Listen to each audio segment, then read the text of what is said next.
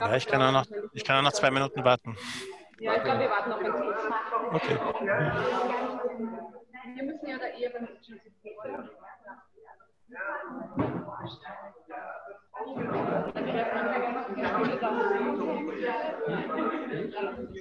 Ich habe überlegt, ob wir die Studien eher vorstellen. So, jetzt muss ich erstmal ein Foto noch machen von der, von der Landschaft, in der ich gerade bin. Schaut, schaut, irgendwie, schaut irgendwie super aus. Das mal schnell nach oben Ja, fahren. danke. Ja.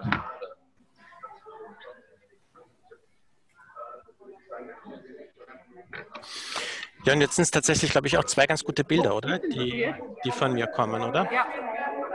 Ja, Ja, weil was ich hier nämlich, was ich hier nämlich mit habe, ist der, ist der Roboter, ja, und, und der, der, Ah, folgt, ja. Der folgt mir dann. Also ich kann mich dann ein bisschen bewegen Sehr cool. Ich freue mich schon drauf. Bin schon sehr und aufgeregt. die, und die, die, Du Drohne, übernimmst, das, du übernimmst das live wieder. die Drohne werde ich dann auch natürlich starten. Oh, ich bin aufgeregt. Ich auch, ich bin sehr aufgeregt. Danke, siehst du mich? Hörst du mich auch? Mhm. Hört ihr mich auch? Ja, super. Es ist wunderbar. Wir warten jetzt noch ein bisschen, alle haben noch ein bisschen Pause. Suppenkoma, super intensiv heute. Was? Na, wir Suppenkoma. haben schon vorher gegessen. Na, wir haben Session-Koma. Session-Koma. Aber geht ordentlich zur Sache, oder? Also abgesehen dachte ich, äh, ha? Es Geht super, gut ja. Wir, ich versuche das, es wäre schön, wenn wir alle Sessions so machen könnten. Also für, für nächstes Jahr müssen wir, glaube ich, alle, müssen wir alle virtuell auch übertragen. Hallo Angelika übrigens. Schade ist nur, dass ihr dann kein gutes Mittagessen kriegt. Hallo. Ich Hallo. Ah,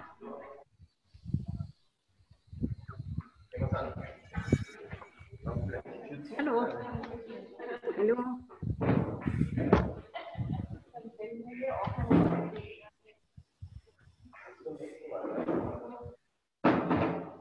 Für den Gruß an alle. Ich finde ja die Perspektive auf dem Smartphone ist charmant. als Ja. Sehr gut. Angelika, können wir dich auch hören?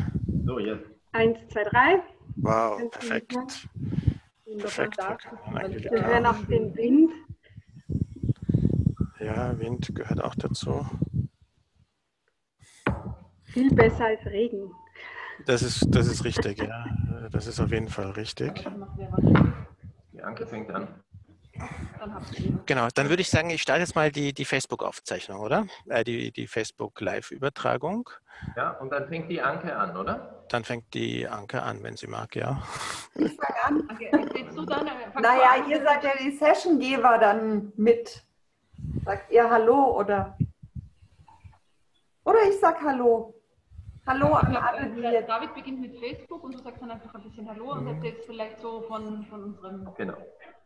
Genau, wir sind schon on air übrigens. Ah, Wenn wir, wunderbar. Dann sage ich Hallo an alle, die zuhören und an alle, die sich interessieren für neue Formen der Vermittlung im Digitalen. Und ich soll ein bisschen was kurz sagen.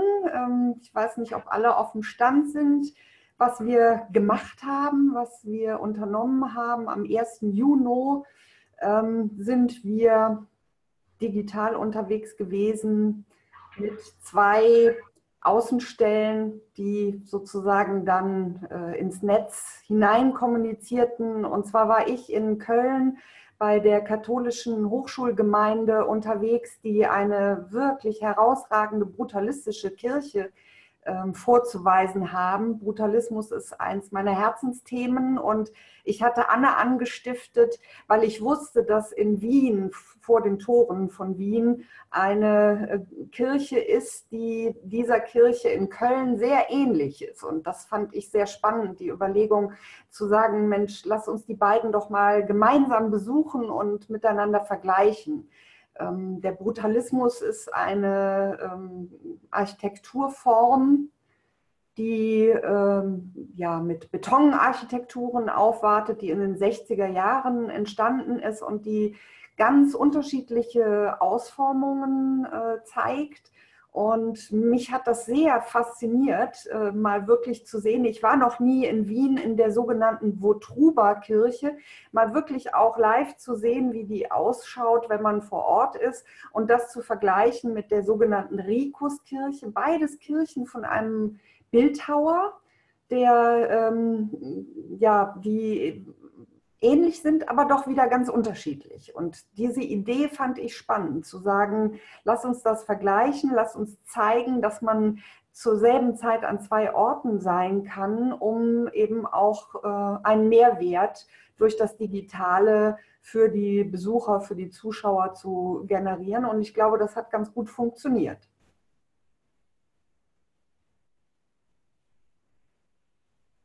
Ja, David, ich würde jetzt kurz einhaken. Gerne, ja. David, geht? Ja, ja Kann klar. Ich übernehmen, ganz kurz.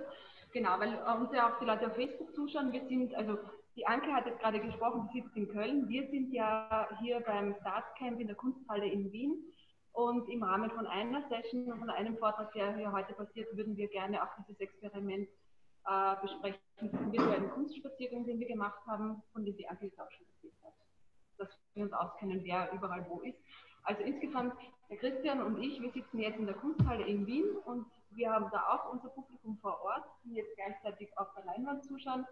Ähm, ja, David, magst du dich dann vielleicht selber vorstellen? Genau, ja, also ich bin, ich bin David Rödler und ich experimentiere auch sehr gerne mit, mit neuen äh, Vermittlungsformen. Äh, das kann jetzt sein Bildung, aber äh, natürlich auch äh, Kunst und Kultur oder kulturelle Bildung oder Kulturvermittlung. Ähm, ja, äh, aber andererseits habe ich auch sehr viel Spaß an, an Technik und, und äh, ich hoffe, dass wir auch kurz Gelegenheit haben und ich hoffe auch, dass es funktioniert. Das ist nämlich schon hier das Live-Bild aus, aus der Drohne und ich sitze hier in, in Hellbrunn im Schlosspark in, in Salzburg und, und könnte, wenn ihr wollt, dann äh, kurz mal aufsteigen und das Ganze von oben zeigen. Äh, und das könnte, könnte ja eigentlich auch ein Einstieg dann sein, wenn es jetzt zum Beispiel geht um, um Barockgärten äh, oder so, wie, wie wir es ja hier haben. Genau. Jetzt wollen wir doch insgesamt, dass äh, das Ganze auch ein bisschen eine Struktur hat. Ähm, fehlt dir noch etwas, Christian? Ja, ähm, das, die, die Frage, was kann ich damit jetzt eigentlich tun? Genau. Also wir haben jetzt die Technologie und wir sind an verschiedenen Orten. Was tun wir jetzt damit? Genau, wer soll sie jetzt zuerst werfen? Wir machen da gerade eine Antwort. Anke. Anke, hab. Anne, du musst Kann- ein bisschen näher ans Mikro kommen. Ich habe dich gerade Ja. nicht gut verstanden. Ja, unsere Frage ist, Anke, ja, wir haben das jetzt ausprobiert mit dem virtuellen Kunstspaziergang. Heute probieren wir das alles jetzt nochmal und äh, implementieren zu dem ganzen Experiment noch eine Drohne und einen Roboter. Meine Frage an dich ist jetzt, was kann das jetzt für die Kunstvermittlung bedeuten? Ist das jetzt nur eine Spielerei oder kann das einen Mehrwert für unsere Audience bringen? Naja, also ich denke schon, dass es, ja, jetzt habe ich dich gehört. Ich denke schon, dass der Mehrwert daran liegt, eben ähm, durch diesen Live-Charakter. Ähm, man muss sich ja fragen, wenn ich jetzt Abbildungen in Büchern habe, könnte ich ja auch bestimmte Dinge sehen, habe Fotos, kann das miteinander vergleichen. Aber ich glaube, dass wir durch unseren Spaziergang vor Ort mit den beiden Kirchen äh, doch gezeigt haben, wie anders das ist, wenn man eben dieses Live-Erlebnis hat. Natürlich gerade, wenn es um Architektur geht, ja, weil da gehört der Raum mit dazu.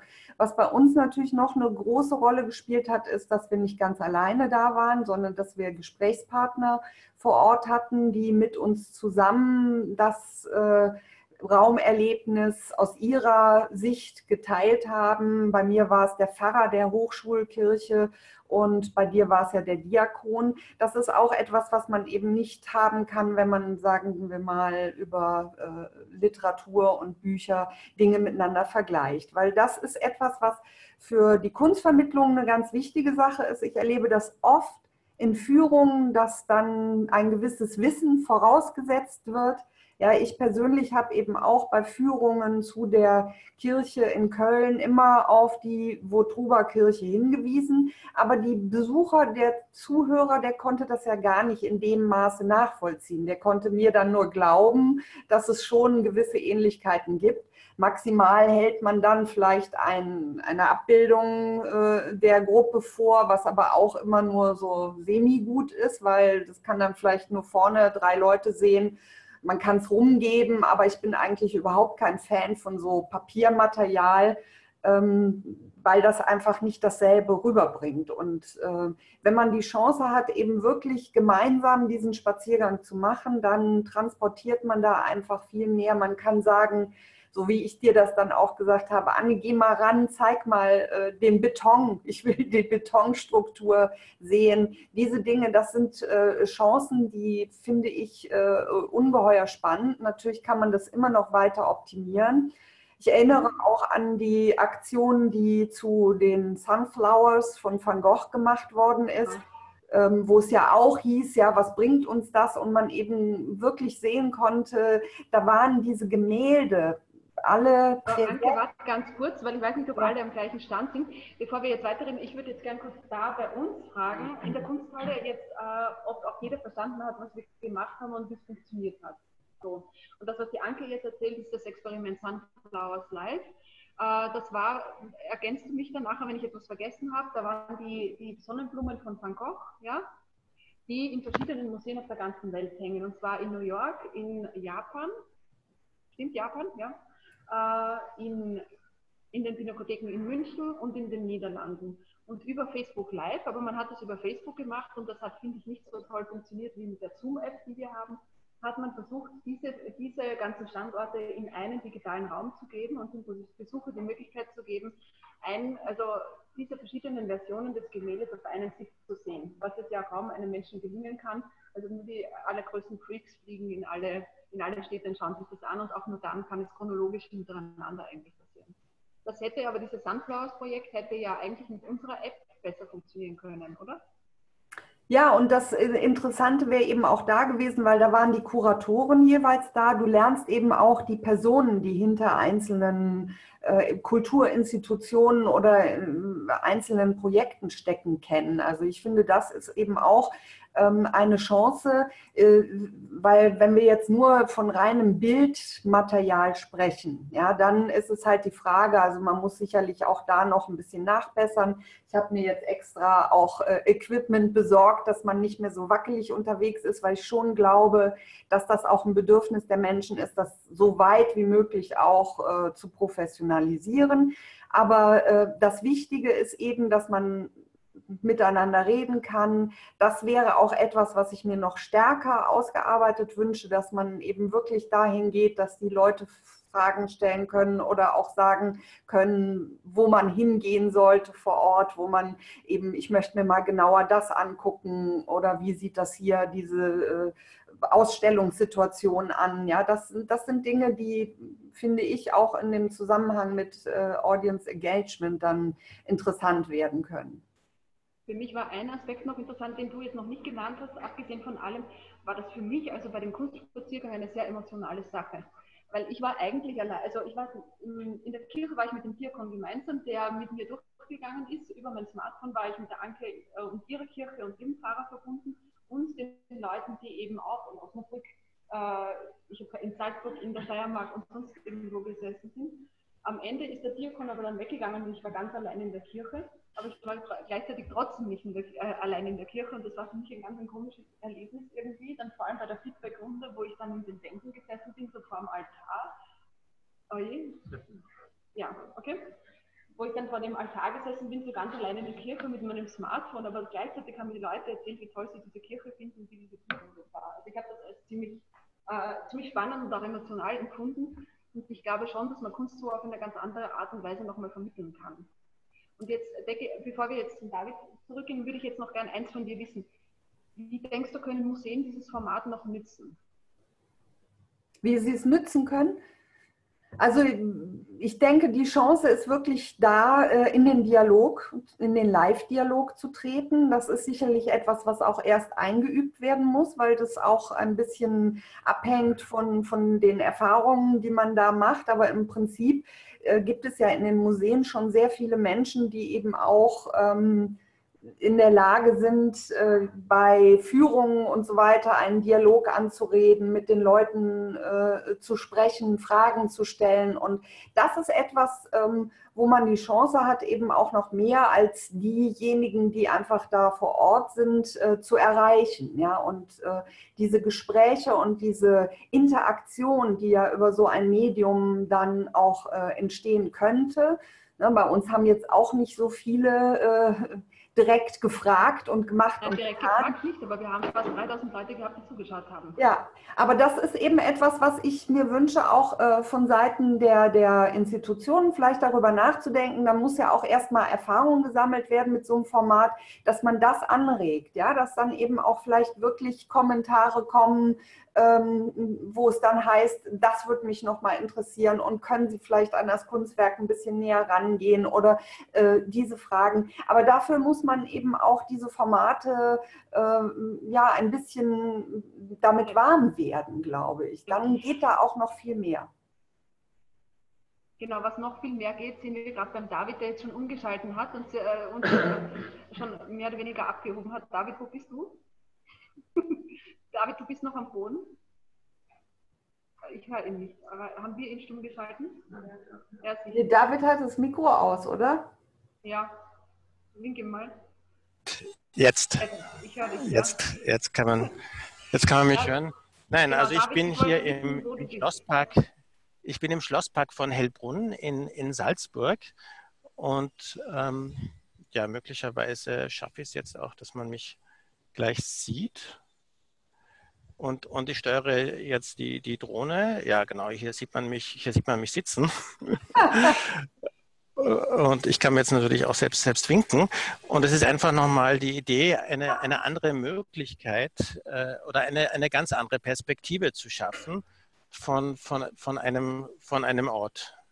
Ja, ich kann es nochmal noch mal ein bisschen höher fliegen, aber ich glaube, irgendwie hat er ein bisschen, bisschen gerade Probleme mit dem Signal möglicherweise. Es ist bei mir jetzt nicht ganz rund, aber ich, ich glaube, ich, ich lande auch besser, bevor ich noch irgendwelche äh, Touristen da. Während der, äh, der David jetzt ähm, der David jetzt die Touristen. Die Touristen. Das sind die äh, Touristen, die freuen sich. Nachdenken. Ich meine, wir sehen jetzt alle, was da funktioniert. Ja, und technisch ist eigentlich viel möglich. Ja, also wir sitzen da jetzt in Wien in der Kunsthalle, ja, die, David, äh, die Angesicht ist in Köln bei ihr im Büro zu Hause. Äh, und jetzt können wir aber sehen, wie eine Drohne über Salzburg. Was, was können wir da jetzt? Wie siehst du das, Christian? Ich glaube, dass du ähm, dem, dass du dem Vermitteln von Informationen und von Wissen eine andere Dimension verleihst, ähm, indem du äh, jetzt nicht irgendwo in einem Museumsraum stehst und von der Welt da draußen erzählst, sondern du kannst in der Welt da draußen sein. Und was, glaube ich, notwendig ist, dass man eine, eine schöne Dramaturgie aufbaut, dass man Gesprächspartner sucht, also was nicht funktioniert ist, dass sich dann einer irgendwo vor der Kamera stellt und dann erzählt er eine halbe Stunde, das ist fürchterlich langweilig, den folgt man nicht. Aber ich kann zum Beispiel ähm, in, in den beiden Kirchen die Gespräche mit dem Pfarrer und dem Diakon ähm, ganz interessant, weil die einfach, ähm, die hatten was zu erzählen und ähm, das war so eine Gesprächssituation, die man so eigentlich nicht erlebt. Hätten die beiden irgendwie so vom Publikum gestellt, dann hätten die vermutlich ganz anders agiert. So war das einfach nur eine Zweierkonstellation. Eigentlich wirklich so ein Dialog. Und ähm, die haben aber gewusst, dass andere dabei sind. Ja? Und ähm, das finde ich eigentlich sehr spannend. Und dann so, so direkte Vergleiche. Ich meine, ich muss jetzt nicht jedes Objekt mit einem anderen, das irgendwie ein paar hundert Kilometer entfernt irgendwo steht, vergleichen. Aber so ähm, Verbindungen aufzeigen oder ähm, wie hier jetzt, dass man ähm, auf der einen Seite Details zeigen kann und auf der anderen Seite dann aber auch den großen Überblick, indem man die Drohne da oben fliegen lässt. Das kann total reizvoll sein. Und, ähm, Denkst du, dass man da eine ganz andere Beziehung äh, schafft jetzt dann zwischen Museum und Zuschauer? Das weiß ich nicht. ähm, das, ist, das, ist, schwer zu sagen, weil es einfach auch unterschiedlich ist.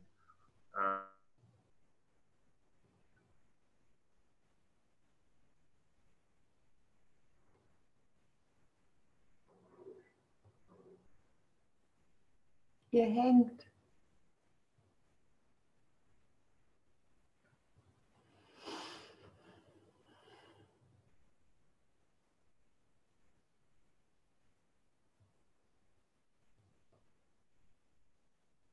David? Ja, jetzt bin ich wieder da, oder? Ja, aber Anne und Christian sind weg. Oh je, das ist schade. Nein, dann überbrücken wir die, die Zeit, in, indem ich zeige, wie, wie, wie man ganz mobil arbeiten kann. Ja, also jetzt habe ich noch die, die Frontkamera eingestellt, aber ich kann auch die rückwärtige Kamera einstellen und jetzt sieht man hier nochmal mein, mein Setting. Also ich habe mich einfach auf einem schönen Tisch aufgebaut. Hier steht auch noch der Roboter. Genau, und ich kann natürlich jetzt hier mich ziemlich, ziemlich frei äh, bewegen und, und die Gegend zeigen, ja, oder, oder eine Ausstellung oder, oder was auch immer. Oder Anke, wie funktioniert das? Super.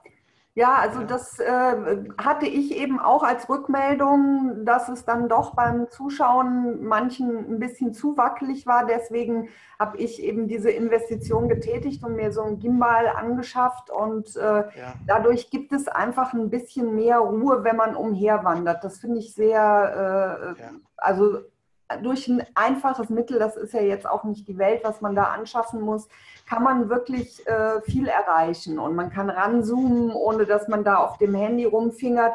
Weil an sich finde ich es schon sehr charmant, dass man eben mit dem Handy das machen kann und nicht mit großem, schwerem Gerät jetzt auch gerade in Ausstellungen unterwegs ist. Das finde ich ist schon eine Sache, die sehr äh, gut funktioniert ja, äh, und niederschwellig ist. Ja, und ich kann tatsächlich sogar jetzt hier äh, joggen und es ist immer noch ein, ein, ein, ein relativ ruhiges Bild. Ja, das Einzige ist, dass ich schnell außer Atem komme. Was ich aber nochmal äh, zu bedenken geben wollte, auch zu der Frage, wie kann man solche Formate nutzen auch. Ich finde, es äh, ist eben gerade etwas, was man auch ähm, nicht nur einmal so als einen Leuchtturm äh, nutzen sollte, sondern wo man eben auch gewisse Routinen vielleicht entwickeln kann, wo man eben auch eine Gemeinschaft kreieren kann, die wachsen kann von Leuten, die wissen, es gibt einen Treffpunkt im Digitalen von einem Museum oder einem Theater oder wem auch immer äh, initiiert. Ja, das wird so sein. Beim ersten Mal ist es bei uns jetzt auch, äh, waren natürlich durch die Furche wurde das äh, äh, sehr verteilt und es gab äh, sehr, sehr viele, die zugeschaut haben. Ähm, das ist vielleicht nicht bei jedem Museum, was so etwas anfangen möchte, sofort der Fall, aber man kann sicherlich sich da eine Community aufbauen. Und andere können sich da ein ja, jetzt spricht Christian, oder? Hört ihr mich, Christian, Anne? Ja, ich glaube, Sie hören nichts. Weil Sie jetzt, glaube ich, ein, ein separates Gespräch führen. Anne? Ja, Moment, warte ganz kurz. Jetzt geht's. Wir steigen wieder ein. Wir hatten eine Frage dazwischen. Sehr gut. Okay, wunderbar. Genau. Wir hatten kurz eine Frage zum Ablauf, also wie es direkt funktioniert, das Tool, und jetzt würden wir wieder einsteigen. Hört ihr uns? Ja. Geh mal ein bisschen näher ran, es ist bei mir recht leise. Super. Der David übernimmt jetzt oder wo seid ihr jetzt? Äh, naja, wir, wir machen so einen was, Rundblick. Was, was war das denn für eine Frage bei euch?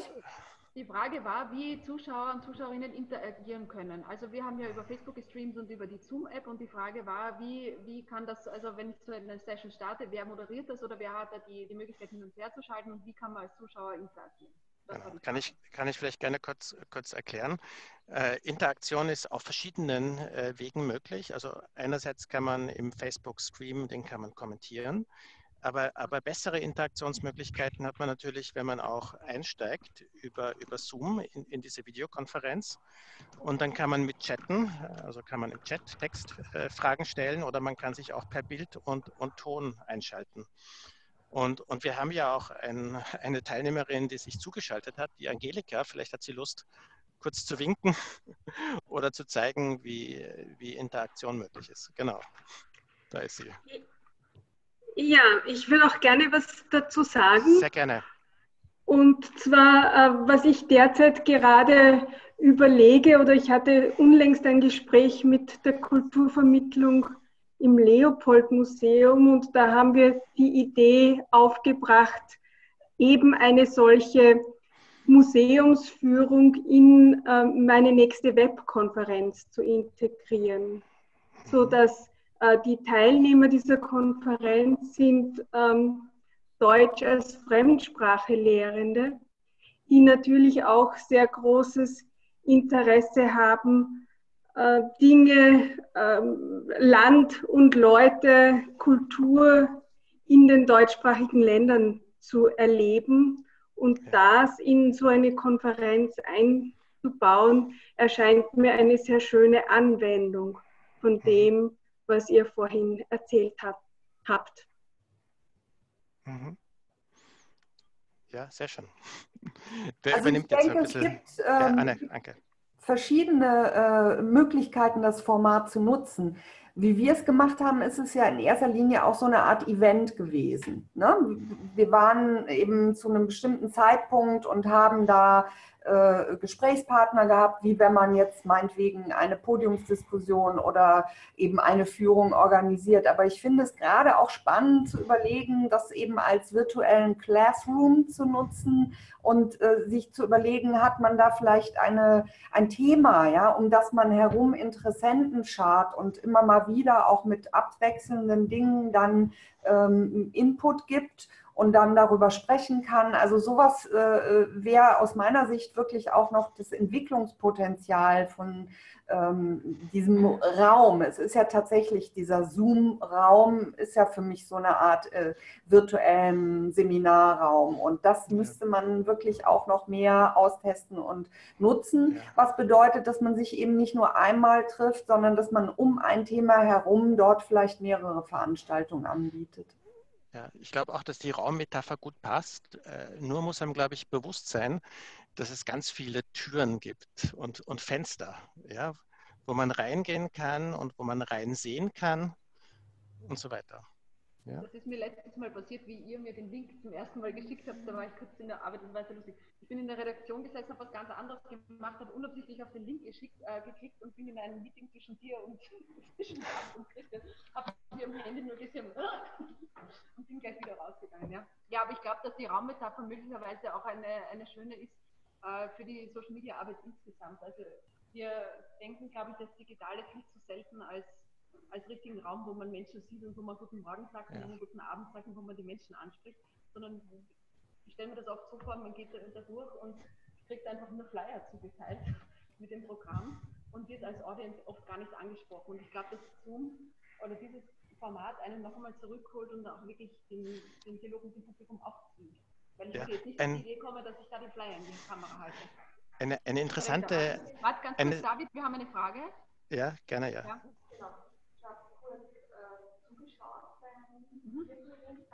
Die App total schnell und leicht runtergeladen. Das war jetzt ja. Teilnehmern so. Für euch technisch auch so einfach ja,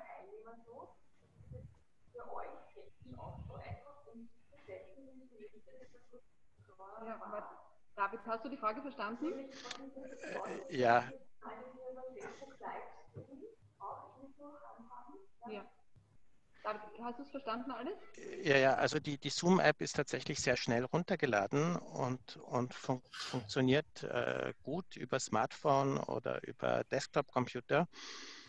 Also ist ein sehr einfacher Zugang und der noch einfachere Zugang, aber der ist natürlich nicht ganz so aktiv, interaktiv, ist der halt über den Livestream auf Facebook oder auf anderen Plattformen, könnte man es natürlich auch instreamen. Ja, aber ich weiß nicht, war da eine Frage auch nochmal mit verbunden jetzt oder? Dann, das war die Frage. Das war die, das Frage. War die Frage. Die Frage war die, die, Frage nach dem Aufwand. Und die können wir ja, Aufwand ist gering. Aufwand ist gering. Ich meine, jetzt hier, hier, wo jetzt so viel Zeug steht, ist der Aufwand natürlich ein bisschen höher. Und, und das Gimbal, das Anke und ich jetzt haben, also ich habe jetzt diese, diese Steadicam, das ist nicht wackelt, ja, weil ich habe das Smartphone in der Hand und kann mich hier äh, ziemlich wild bewegen, ohne, ohne, es bleibt ein ruhiges Bild, ja. Das ist natürlich jetzt schon ein bisschen Aufwand und, und auch ein genau. gutes Bluetooth-Headset, damit man mich gut versteht. Genau, aber insgesamt kann man sagen, wir hatten für die, für die ganze Aktion, diesen ganzen Kunstspaziergang, hatten wir Konzeptionsaufwand. Ich weiß nicht, Anke hat, äh, die Anke hat mit mir das, das Konzept gemacht oder eigentlich hast das du gemacht. Ähm, ich weiß nicht, wie lange hast du ge gebraucht? Wir haben eigentlich nur zusammengeschrieben, wer wann spricht ungefähr und was der Inhalt sein wird. Dann hattet ihr alle ein Handy. Genau, und dann hatten wir jeder unser Smartphone und wir haben uns die Zeit ausgemacht, wo wir uns treffen. Also die Anke hat noch den Zeitaufwand gehabt, um den Fahrer zu kontaktieren. Ich hatte den Zeitaufwand, um den Dirk zu kontaktieren und dass wir uns abgesprochen haben, an welchem Termin. Am Ende war es das mit dem Aufwand. Ja. ja. Und der finanzielle Aufwand war. Genau. Also der finanzielle Aufwand war äh, gering. Wir hatten alle ein Handy. Wir haben den Fahrschein gebraucht, um an den Ort zu kommen, von dem wir streamen wollten. Beworben haben wir es noch. Aber Beworben haben wir es noch. Ja. Aber auch ohne Geld. Ja. ja. Ich möchte kurz einwerfen. Ja. Ich bin nämlich aufmerksam geworden, dass ich trotz der Bewerbung, die es vorher eh gab und so, dann tatsächlich, weil ich zufällig gerade Facebook offen hatte und Facebook Live gesehen habe. Das heißt, das tatsächlich übertragen schadet sich nicht. Ja. Glaube ich auch. Mhm. Ist auch. Ja, die, die Frage ist ja, ob das ähm, dann ein Format ist, für das ich Werbung eigentlich Sinn mache. Das das kann ja auch eine Gruppe sein, mit der man was ausmacht. Dann habe ich das Thema Bewerbung gar nicht. Also es muss ja nicht immer das Ziel sein, möglichst viele Leute über Facebook ja. oder sonst irgendeinen Kanal zu erreichen, sondern ja. ich habe Leute, die sich für ein Thema interessieren, in welchem Zusammenhang auch immer. Man macht sich mit denen einen Termin aus und dann findet es statt und dann ich habe jetzt noch, ich habe jetzt noch eine, einen interessanten Gedanken, den ich gerne anbringen will. Ich bin ja jetzt irgendwie im öffentlichen Raum ja, im Park. Mhm. Und, und da kommen jetzt Leute vorbei, die, die ja möglicherweise, also jetzt habe ich hier den, den relativ kleinen Computer, aber ich könnte ja hier auch, wenn ich Stromanschluss hätte, einen großen Fernseher aufstellen mhm. mit, mit der Webcam und, und auch noch irgendwie Leute interessieren, die vorbeikommen für das, was ja. passiert und die auch gleichzeitig noch mit einbinden. Das heißt, ich, ich kann damit auch Leute erreichen, in diesen Raum bringen, die schon im öffentlichen Raum sind und, und müsste also gar nicht an, an digitalen Weg gehen, um Beteiligung zu ermöglichen. Also gibt es sonst Stimmen noch? Noch eine Frage? Ja, mich interessiert das schon sehr. Ähm, das ist jetzt nur live, oder Es? Na, wir haben äh, alles abgespeichert. Genau. Ähm, ich habe einen Blogbeitrag darüber geschrieben, habe ich das angekündigt und unten dran hängt ähm, die Aufzeichnung als Video. Und zwar, genau. Und zwar ähm, ganz interessant, du, es hängen zwei Videos unten drunter. Einmal hast du die Kachelansicht, das sind alle, die mit Webcam live waren, im Kachelformat zu sehen. Und die, das andere Video äh, zeigt immer die Sprecher, Sprecherinnen, also immer diejenigen, die sprechen, siehst du dann so in vorne. So wie du jetzt hier den David siehst, das wechselt dann immer. Also du, du kannst jetzt eigentlich auch wählen, wobei jetzt, also für eine Aufzeichnung, glaube ich, ist diese Sprechervariante die sinnvoll, sinnvollere. Ja, so für die Kommunikation, wenn man sich unterhält, ist es, glaube ich, ganz nett, wenn man alle über die Kachel sieht. Aber als Aufzeichnung macht das wahrscheinlich. Ich habe noch eine technische Frage vielleicht an den Daten, ähm, der ja auch die Streaming, Livestreaming auf Facebook eingebunden hat. Könnt ihr, ich habe gesehen, ihr tun es auf der Kurse Facebook-Seite, mhm.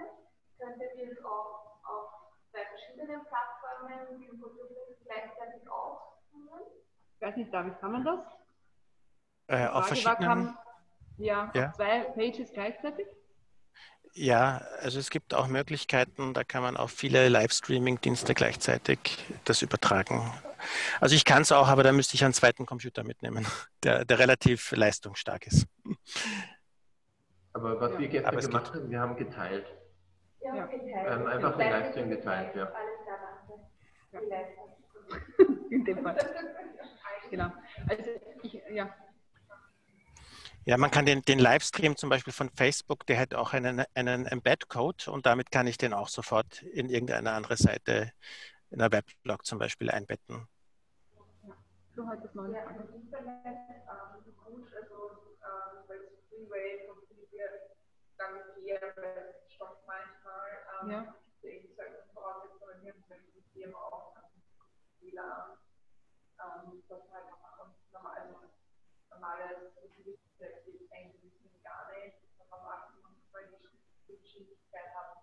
Ja, ich meine, das war unsere große Sorge auch, weil die Wortruper ja voll betont ist, ja, ob ich da überhaupt Empfang habe und wir haben dann uns eben entschlossen, auch notfalls draußen.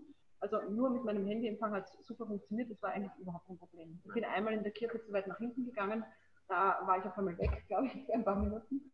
Ja. Äh, dann schaltet man um, ja, dann ist es halt so. Aber das kann man ja vorher testen. Ansonsten, David, gibt es irgendeine Voraussetzung für, für Netzverbindung oder Naja, die, also irgendwie 3G, UMTS sollte schon da sein oder, oder besser auch mehr oder, oder man, man schaut, dass man irgendwie WLAN dort hat und vorher, vorher probieren. Und ich glaube, das Wichtige ist, also ich hatte jetzt gerade, ich kann es ja nochmal in die, in die Kamera halten, das war jetzt hier das Handy, das ich verwendet habe und das wird eingespannt eben in, in diese Gimbal-Halterung und ich kann es nochmal einschalten auch und das bewirkt, ja, man sieht es, ich, ich kann das bewegen und, und es bleibt äh, sehr, sehr stabil. Ja? Wobei das ich ist die Idee für ein ruhiges ja. Bild. Also ich bin in der Kirche wirklich nur so gegangen, weil ich mich ständig vergessen habe. Ja. Aber so ist es natürlich. Ja, die Qualität wird deutlich besser.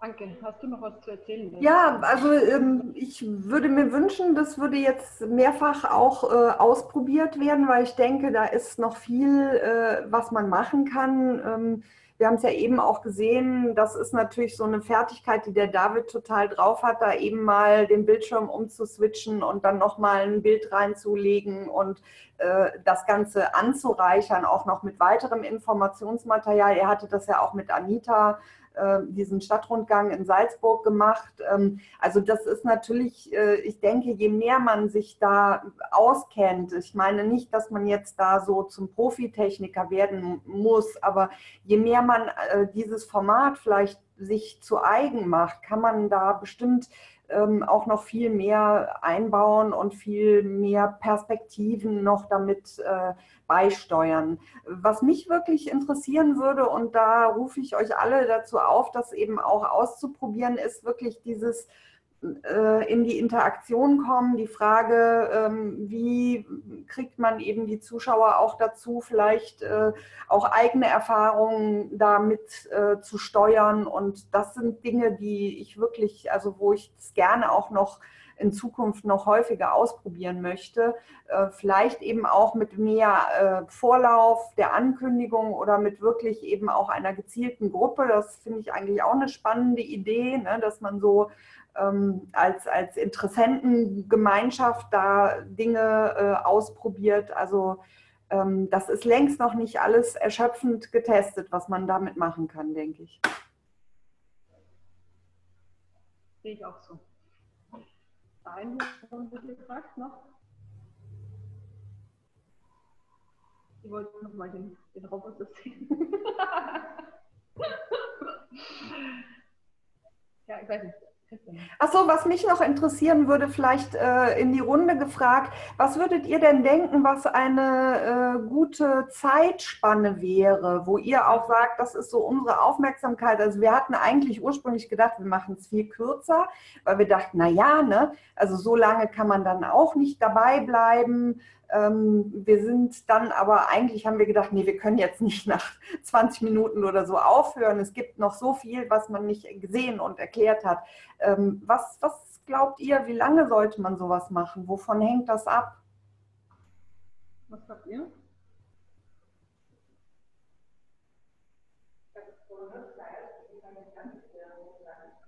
Wie eine Fernsehserie. mit Cliffhanger, mit Cliffhanger, ja.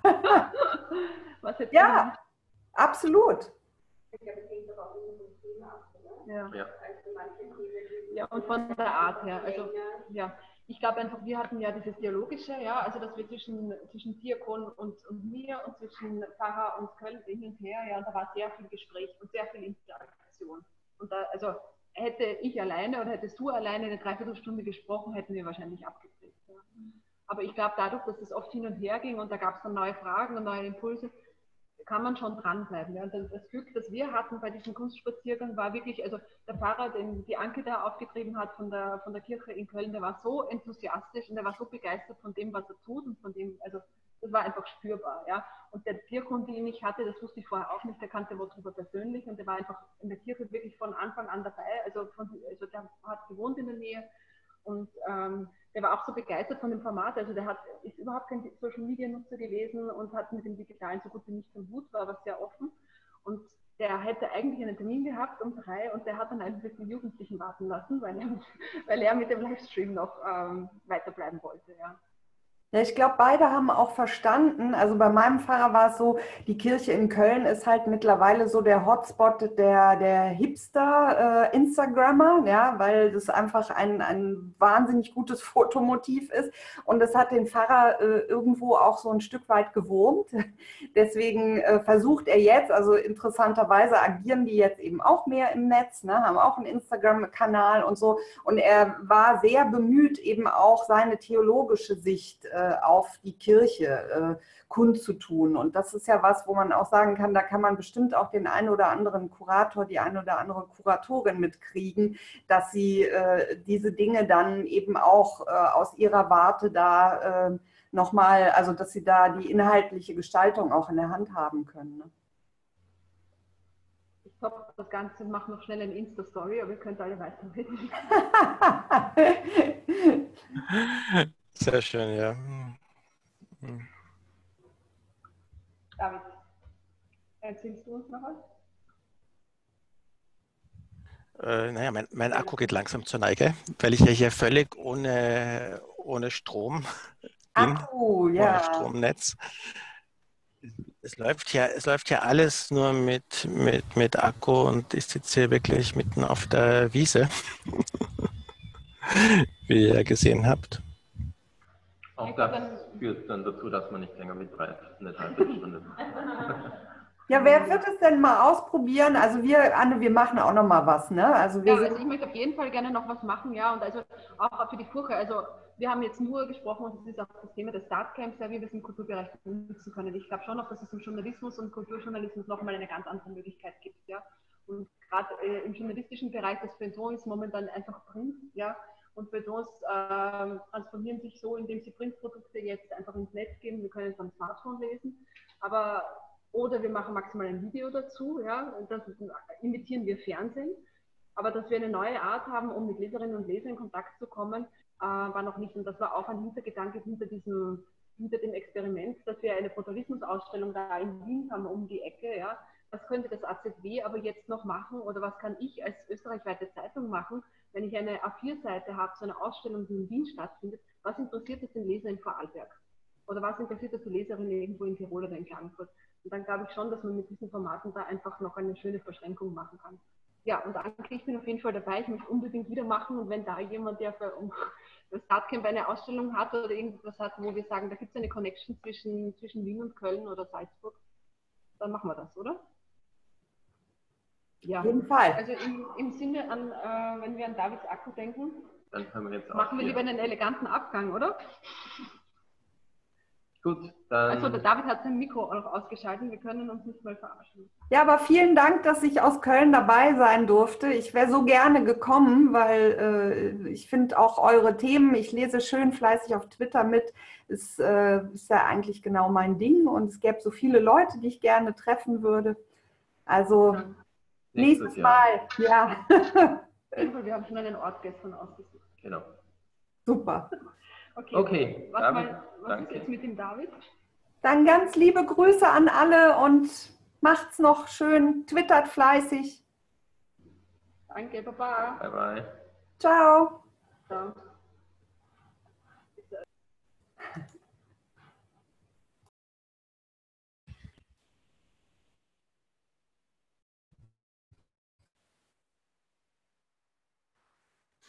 Genau, dann seid beim